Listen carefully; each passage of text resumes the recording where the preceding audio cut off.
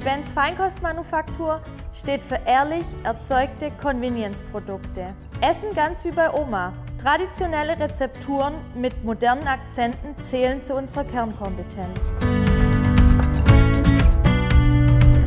Mein Name ist Gina Benz. 2016 habe ich mein Studium zum Bachelor im Bereich Food Management absolviert. Bis dahin dachte niemand, dass ich in der Fleischereibranche tätig sein werde.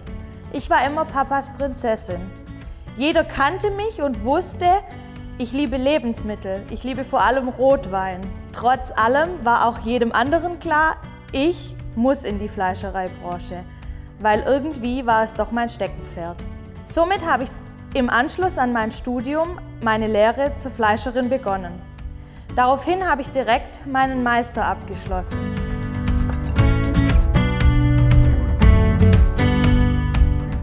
Ich durfte 2018 mein eigenes Unternehmen gründen, die Benz Feinkostmanufaktur. Gemeinsam verfolgen wir hier den Bezug von regionalen Rohstoffen und ein ehrliches Handwerk. Wir produzieren hauptsächlich Fertiggerichte in Konserven. Darüber hinaus stellen wir Feinkostsalate, Maultaschen und verschiedene Teigspezialitäten her. Zur Abfüllung unserer Produkte nutzen wir den Vakuumfüller von Handmann. Hier überzeugt vor allem mich jeden Tag die Genauigkeit und Zuverlässigkeit der Maschine. Ein weiteres Highlight war die Einführung.